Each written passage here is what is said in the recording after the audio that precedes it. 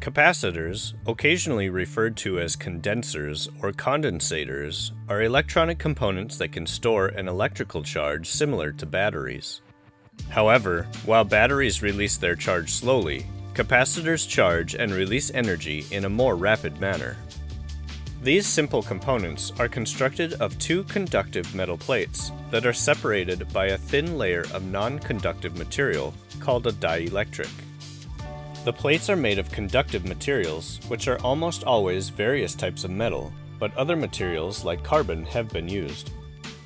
The common metals used are aluminum, tantalum, or silver, and the dielectric can be any insulating material. Common dielectrics include paper, types of plastic film, ceramic, glass, silicon, and more. The combination of metal and dielectric material provide us with the various types of capacitors we are used to seeing. To explain how they function, let's look at a basic, polarized aluminum electrolytic capacitor. As power is applied to the capacitor, the plate attached to the negative lead will obtain a buildup of electrons, while the plate attached to the positive lead will release electrons. The dielectric material prevents electrons from flowing between the plates. This buildup and release of electrons creates a difference in potential or voltage between the plates, and continues until the capacitor reaches the same voltage potential as the power source.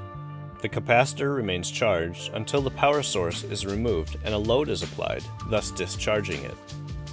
Because of this, capacitors must be handled with extreme caution and always treated as if they are charged. For more information on how to safely discharge a capacitor, take a look at our video where we demonstrate how to accomplish this. Now that you know how capacitors work, let's explore how their technology is useful. One use for capacitors is in applications that require a large, sudden burst of voltage, such as motor starting or camera flashes. Another use is to ensure steady power to a circuit by absorbing, smoothing, or filtering out quick changes in voltage, often called noise.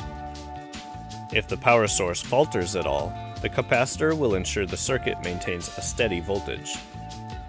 Next, we'll discuss polarized versus non-polarized. Polarized capacitors only function in DC circuits and have higher leakage currents, but they can achieve higher capacitance values. Non-polarized capacitors can be used in both DC and AC circuits and have a lower leakage current, but they are much larger than a polarized capacitor of the same capacitance and voltage rating. Ready to start selecting the perfect capacitor for your latest design? Head to digikey.com and get started today. Want to watch more videos like this? Like and subscribe.